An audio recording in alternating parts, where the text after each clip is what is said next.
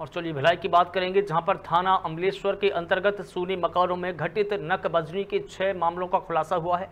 आरोपी स्कूटी से घूम घूम कर रेकी करते हुए सोने मकानों में घटना को अंजाम देते थे।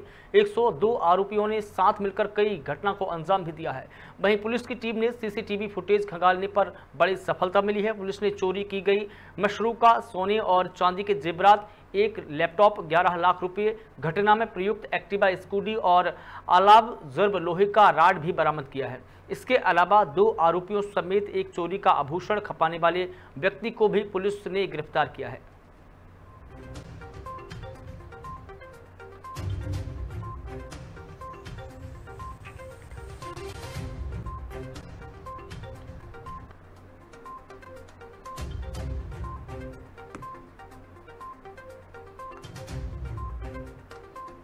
उस क्लू से हम लोगों ने आगे रायपुर पुलिस से मदद मांगी। रायपुर जाकर हमारी एक टीम वहाँ पे लगातार पतासाजी कर रही थी और वहाँ पर हम लोगों ने फिर जो मुख्य आरोपी है, सोनू विश्वकर्मा, उसको अरेस्ट किया। उसको अरेस्ट करके पूछताछ किया और पूछताछ में उसने चोरी करना कबूला है।